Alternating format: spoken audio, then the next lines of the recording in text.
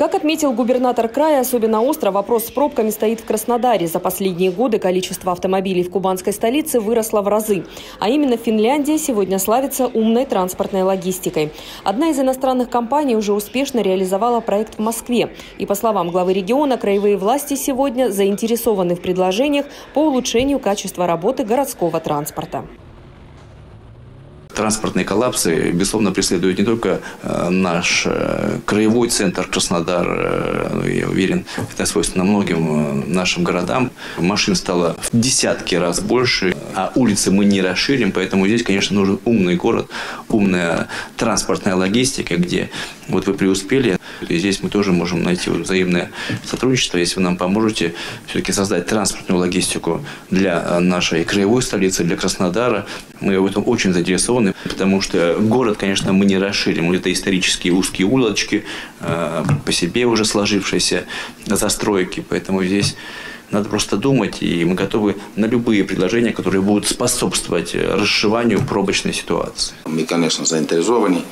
И в России в целом а, работает около тысячи финских компаний.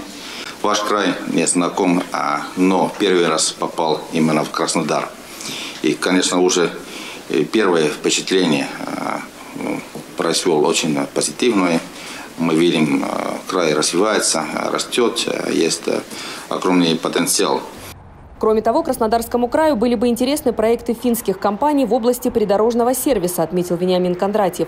Кубань сегодня один из главных курортных регионов страны. Только в прошлом году у нас отдохнули около 16 миллионов человек. С каждым годом эта цифра растет, в том числе увеличивается количество автотуристов.